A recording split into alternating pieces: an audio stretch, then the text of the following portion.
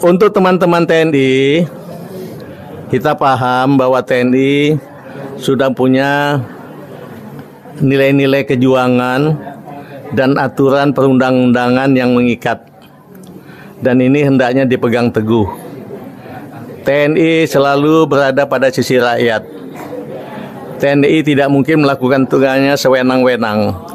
Untuk itu saya sarankan juga pada teman-teman TNI, kalau-kalau Presiden melakukan sebuah tindakan yang menyimpang dari aturan perundang-undangan, apalagi dalam menggunakan TNI, tidak ada salahnya Panglima TNI atau Kepala Staf Angkatan atau siapa pun yang dekat dengan Presiden menyampaikan kepada Presiden, Pak, Bapak ini sudah melanggar ketentuan aturan perundang-undangan dalam memanfaatkan TNI.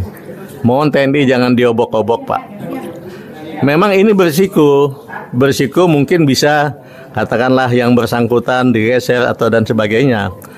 Tapi buat kita kan nilai-nilai kejuangan itu jauh lebih penting. TNI terikat pada Sabta Marga ketiga. Kami prajurit Angkatan Bersenjata Republik Indonesia yang bertakwa kepada Tuhan Yang Maha Esa serta membela kejujuran, kebenaran, dan keadilan.